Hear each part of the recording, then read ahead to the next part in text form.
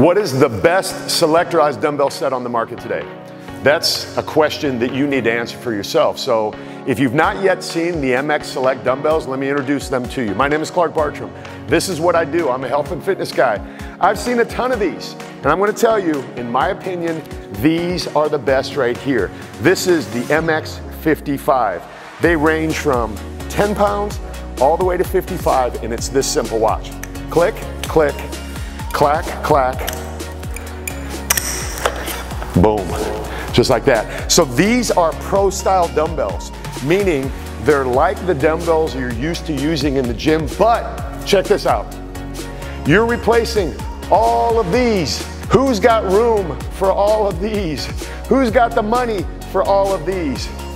I don't know, but if you're online looking for these, check out the site, man. There are other sets available as well.